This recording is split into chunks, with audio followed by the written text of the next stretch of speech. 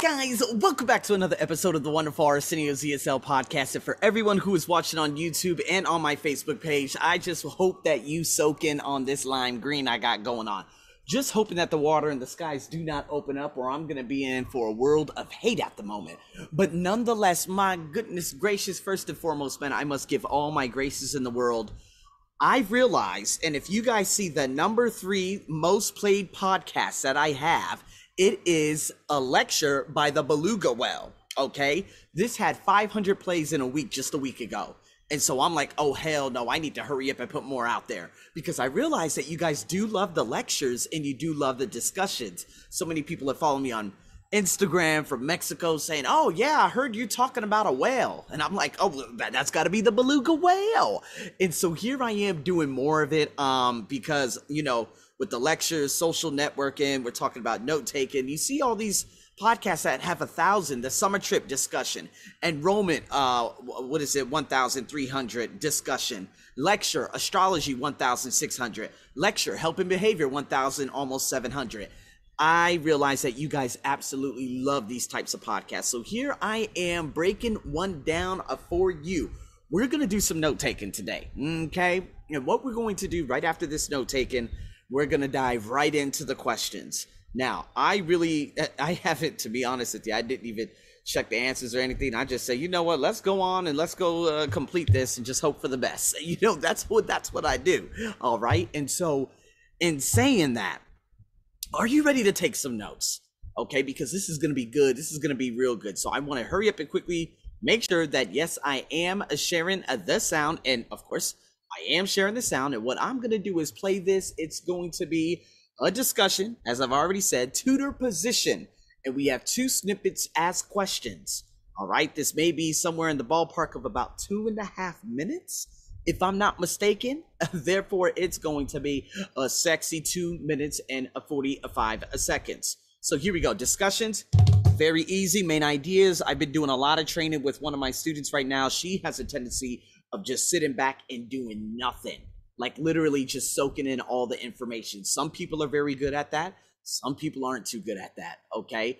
But just look at how I take my notes, my main ideas, my keywords, my content words, see how I structure it all together, make sure I write down, you know, whatever it may be, and then I'll go from there. So, in saying that, people, let's dive in.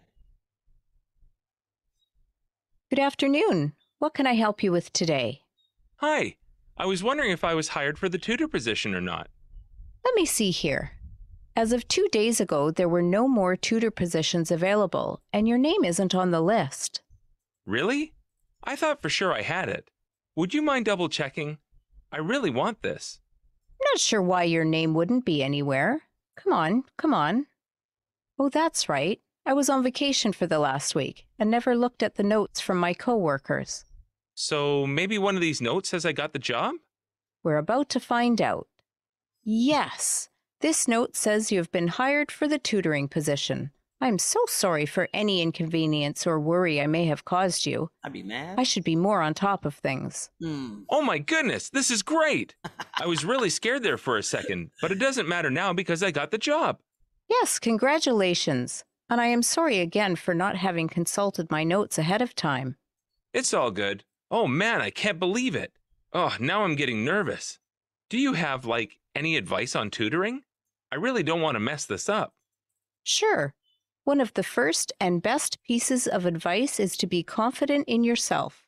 As long as you walk into every tutoring session with confidence, the students you're working with will see you as a valuable resource and respect you. Right, right. That makes sense. I mean, I mm, wouldn't have got the position if I didn't know my stuff. Exactly. You're qualified, and it's important to remember that. It should help with the nerves, too. Okay, great. Anything else? Well, this is a bit smaller of an issue, but it is important. The computer in here always has technical issues, so it's a good idea to prepare your notes on paper so that there's less risk of them getting lost. Yeah, then I just have to not lose them. Mm hmm. So being organized will be important too. If you don't already, you may want to get a separate binder just to keep together all of your tutoring materials, the same way you would organize your classwork. Man, I feel like I should be able to think of these things. Well, I'm sure you can. You're just nervous. So ultimately, remain calm and think it through. You've got some time to think about how you want to approach this so that you feel prepared every time you walk into a tutoring session. Okay, between what you told me and what I can figure out on my own, yeah, I'm sure I'll be fine. Thank you for all your help. Glad to be of assistance. Congratulations again on getting the position and good luck. Thanks. Have a good rest of your day.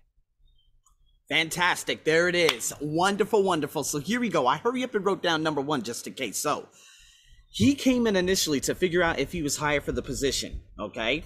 And the lady checked and said, oh, two days ago, there were no more uh, open positions. And she saw that his name was not on the list. And then the guy went on to say, can you double check it? He needs to be on the list. And she said, oh, that's right. I was on vacation for the last week. So she didn't have the notes of her coworkers. And so she continued looking and looking what is that noise? That is the loudest ringtone. Anyways, okay, here we go. Let's let's focus here. So sorry for inconvenience. Uh, she's going to be more on top of things, but most importantly, he was hired. And then obviously you heard it in his voice. He's like, "Oh my god!" And then he asked her, "Do you have any advice on tutoring?"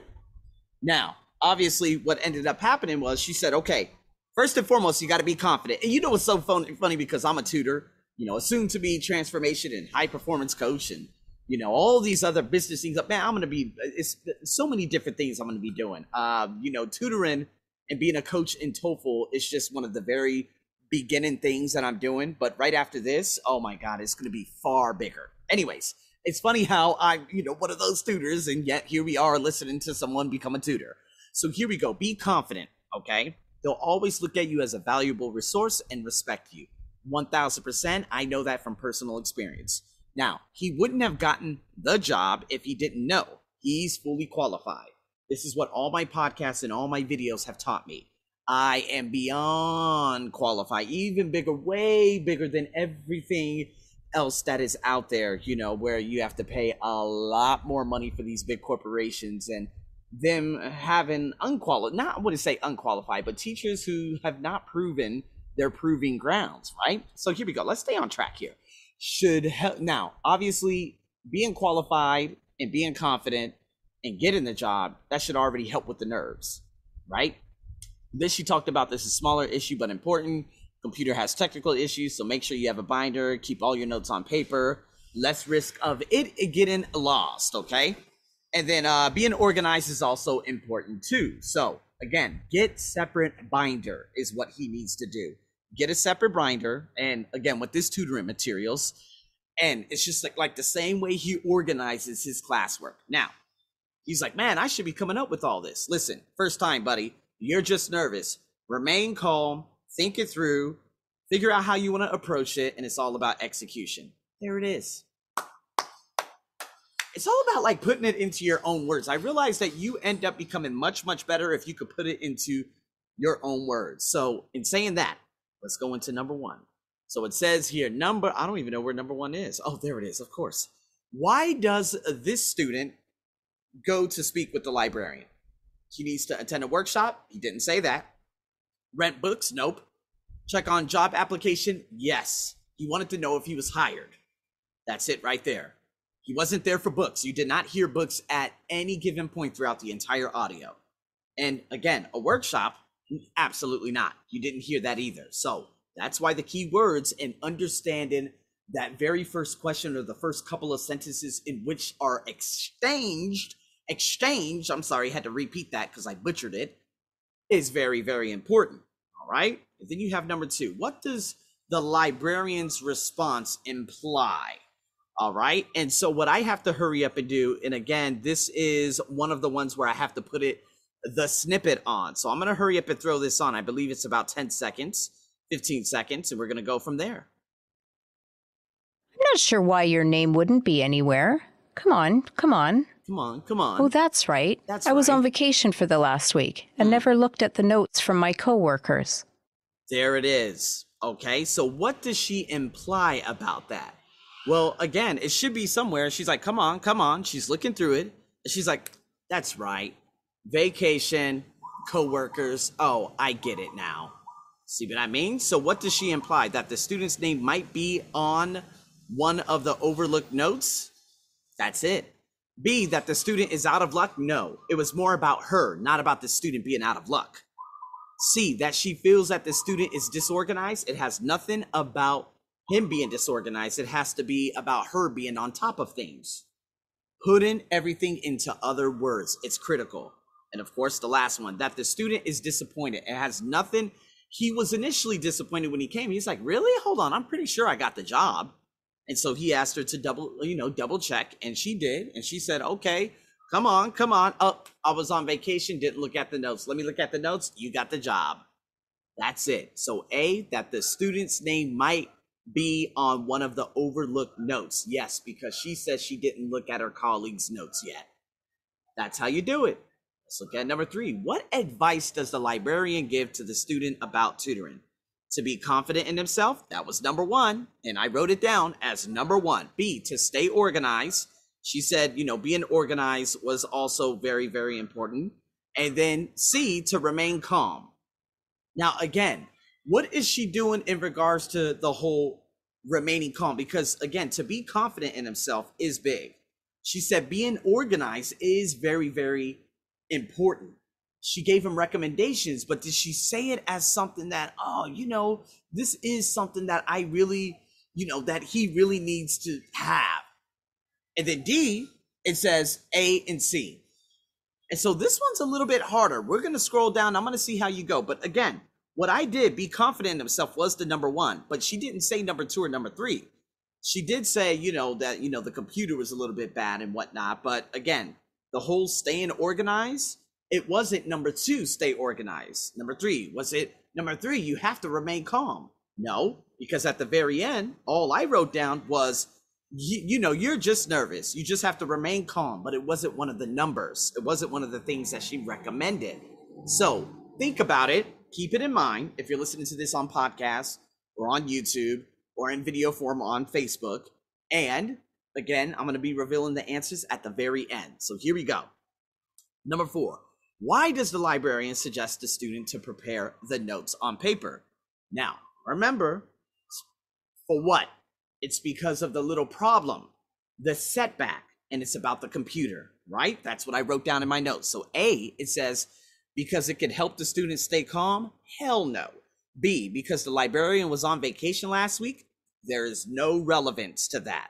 C, because it is easier to write down notes on paper than on the computer? Absolutely not. That is absolutely false. As you can see, I could write a hell of a lot more on on the computer. D is the answer because the computers in the library always act up. That's it. All right. And so here we go. Why does the librarian respond in this way? This is the last snippet that I'm going to be sending to you right here and, of course, right now. Here we go. Man, I feel like I should be able to think of these things. Okay. Well, I'm sure you can. You're just nervous. You're just so nervous. ultimately, remain calm and Remain think calm. it through. Think it through. You've got some time to think about how you want to approach this so that you feel prepared every time you walk into a tutoring session. There it is. And of course, hey, I'm your guy. I'm always prepared. Anyway, so in saying that, people, why does the re- librarian respond in this way? He feels that he should be on top of things like this and that he should be very quick. But she's like, You're just nervous. You need to be calm. Going back to question number three, you know, see, it says to remain calm. But was that one of the pieces of advice that she gave him? It's a very close one. All right. But nonetheless, let's go back to question number five. Why does she respond this way? To help the student calm down and realize his capabilities? Could be. B, to do the student's job for him? How the hell can she do a, tutor- a, a tutoring job when she's a librarian? No. C, to get him to be more nervous? No. The goal is for him not to be nervous. Ridiculous. Get out of here. To prevent him from being a good tutor. no, she's giving him little, small, little snippets in terms of listen, you're going to be a great tutor. All right. If you go in there confident with this and this and this. So, again, my guess would be number 5A. So, here we go. Let's check out uh, the answers. All right. So, number one is C. Let's go up here. He wants to check on his job application. That's correct. Number two is A. That the student's name might be on one of the overlooked notes. Now, number three, I'm interested in. And number three is D, A and C. Now, it's a little hard. It's a little hard because I was like, man, this is a very tricky one. You know, and with the notes I had written down, I'm like, okay, I know she said confident, but B doesn't make sense. And then normally when you see A and C, it makes a hell of a lot of sense. But she did say uh, stay organized, but obviously she said confident. So I know A is the answer. So it must be A or D because th- that's what it came down to. And so at the very end, like you heard in the snippet, she said it, okay? You're just nervous, be calm, okay? And then etc. etc. etc. So number three is D. If you guessed it right, fantastic. Let's go into the next one. Number four is D because the computers always act up. Act up meaning they mess up. They have a tendency of always breaking down. It's kind of like when I have my old MacBook Air. That thing was the bane of all existence. The worst thing on the planet. I had never been so mad before in my life because of that garbage MacBook. But now, voila. And then number five, why does the librarian respond in this way? Okay. And let's go back down. A, to help the student calm down and realize his capabilities. Welcome back to another TOEFL IBT discussion podcast or video. If you guys watch this, thank you so much. If you're watching this right off, um, what is it on my membership? Because whoever is on my membership, I normally send this immediately uh, to the WhatsApp, uh, to their WhatsApp, because obviously we have a WhatsApp and I always send them information and stuff like that. And um, yeah, so if you're watching this, make sure you take the notes. And again, I hope you enjoyed this. If you're still having difficulty with your note taking, obviously on the membership, reach out to me. And again, if any of you are interested in any online coaching or the TOEFL listening course, which is going to be coming up, that's a learn as you go thing. Uh, make sure you inquire. Follow me on my Ar- Arsenio's ESL podcast page on Instagram, and I'll be seeing you guys there. So, with that being said, I'll see you in the next video. Over and out.